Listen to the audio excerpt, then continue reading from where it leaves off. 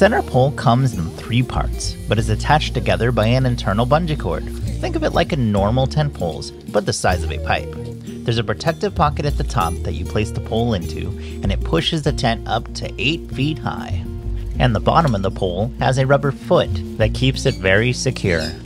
The A-frame door comes in two attached pieces and is easy to install. Its feet go into these pockets and it has a small spike that goes through a grommet on the top.